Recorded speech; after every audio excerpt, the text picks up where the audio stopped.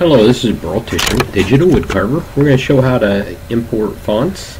Um, this is a website I went to and I downloaded this American Type Write HC. I downloaded it here and actually I'm going to move this screen but it is um, I just simply put it to my um, desktop American one and then TTF is the file type and then uh, if I just right click copy it there once I got it copied I go to my C drive go into Windows and there's a font file. You're going to see tons of these files here. Now I've already put this one in but I can right click and paste it. It's going to tell me I've already got it there and do we want to replace it uh, at this point I can say yes, and it's going to install this there. And that's really it as far as putting the font in. That's all you need to do. We're going to close out that window and we're going to open BobCAD um, program. Okay now that BobCAD's open we will um, check for that font. We just click on the font and now we're going to look for you can type it in here. American there it is. And this is a test. We'll do about one inch high. Okay and there we go. That's our that's our new text. Okay the other thing we're going to do is import images and we'll go to BobART.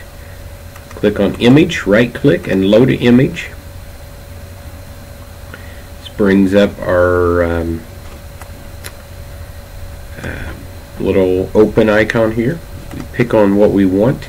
Um, JPEGs is what's there now. If you'll go down here to file type, you can click on all file types and you see how a lot more things come up. Just be careful when you do all file types. It's got to be a format that BobCAD recognizes. JPEGs, BMPs um, are, are formats. So uh, if you want to know what that list is, you can do the click down and look for it on here uh, on that. But uh, we're going to open that, see how it pulls it in. And then once you've got that in, we're going to right click over here and we're going to vectorize it. And this is what's going to change it from that BMP to line art. You see what I did here is this toolbar will change the um, uh, kind of the resolution of it. If we take it down too far, see how some of the stuff disappears. What we want to do is we're looking for the cleanest lines as that we can get around here. We can also change the size of it. Take that to 6. And when we do that, make sure we keep um, aspect ratio the same. That way it's proportional. And we do OK. See how the lines go up here. Now I got my text in in the way there, but um, uh, anyhow you can see how it vectorized it. If you see what I did there I right clicked on that. I blank and unblank and that will make that background picture disappear so you can work on it. Let's move that. This is a test out of the way. We go up to translate. We do a drag. We click on it. Click OK. And we can get it up out of the way.